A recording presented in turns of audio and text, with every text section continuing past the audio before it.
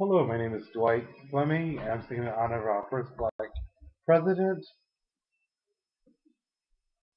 Lift every voice and sing till earth and heaven ring, ring with the harmony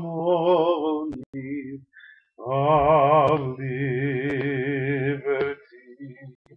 Let our rejoicing rise high as the listening skies.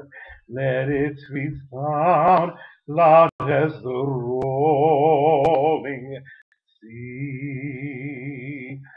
Sing a song full of the hope that the dark past has taught us. Sing a song full of the hope that the present has brought us.